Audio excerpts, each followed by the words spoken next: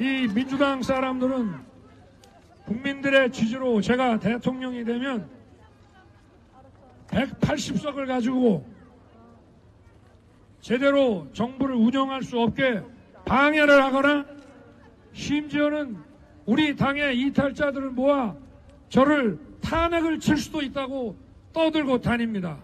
저는 하라면 하라 이겁니다. 저에게는 가장 막강한 정치적 지지 세력이 있습니다. 바로 국민 아닙니까, 여러분?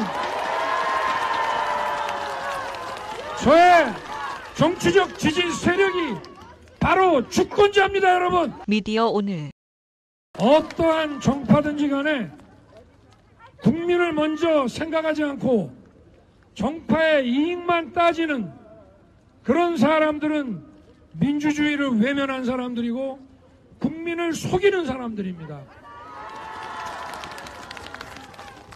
저는 여의도의 문법도 여의도의 셈법도 모르는 사람입니다.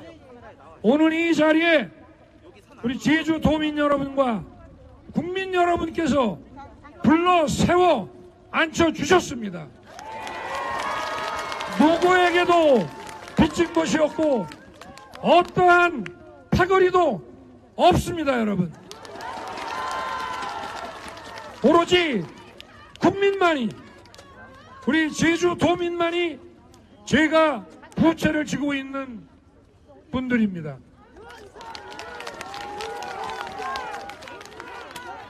이 민주당 사람들은 국민들의 지지로 제가 대통령이 되면 180석을 가지고 제대로 정부를 운영할 수 없게 방해를 하거나 심지어는 우리 당의 이탈자들을 모아 저를 탄핵을 칠 수도 있다고 떠들고 다닙니다.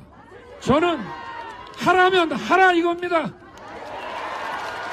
저에게는 가장 막강한 정치적 지지 세력이 있습니다. 바로 국민 아닙니까, 여러분? 저의 정치적 지지 세력이 바로 주권자입니다, 여러분.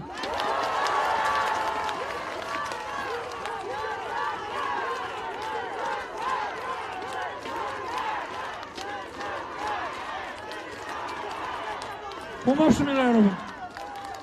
고맙습니다. 제가 공무원 생활을 오래 했기 때문에 휴가를 길게 갈 수가 없어서 2박 3일, 경우에 따라 1박 2일 하면 늘 이 제주를 찾습니다.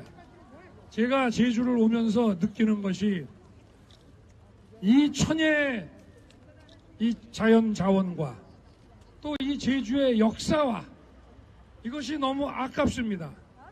정말 이 제주를 수준 있는 대한민국의 보석이라고 하지 않습니까? 그걸 정말 보석으로 키워야 하고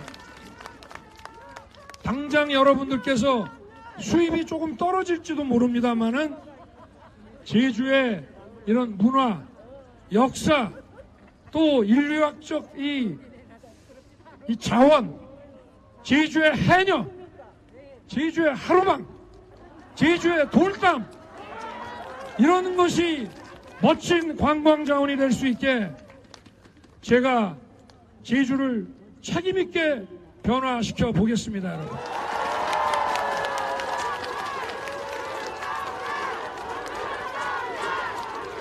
고맙습니다. 우리 도민 여러분 감사합니다.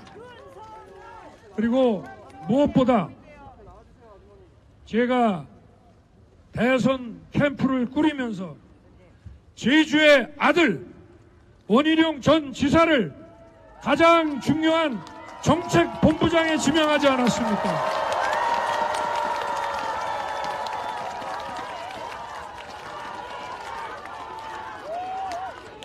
우리 원 지사는 제주 지사를 두 번 하면서 제주의 현안과 도민들의 희망과 바램을 누구보다 잘 알고 있습니다. 뿐만 아니라 저와 함께 4차 산업혁명과 디지털 정부 구축에 관한 연구도 함께 많이 했습니다. 그래서 아까 말씀드린 제주를 4차 산업혁명을 선도하는 소프트웨어 기술자들과 그리고 이 소프트웨어 기술을 바탕으로 해서 돈 되는 상업적인 가치 창출을 해내는 그런 역할을 저를 도와 함께 잘 해 나갈 것입니다, 여러분.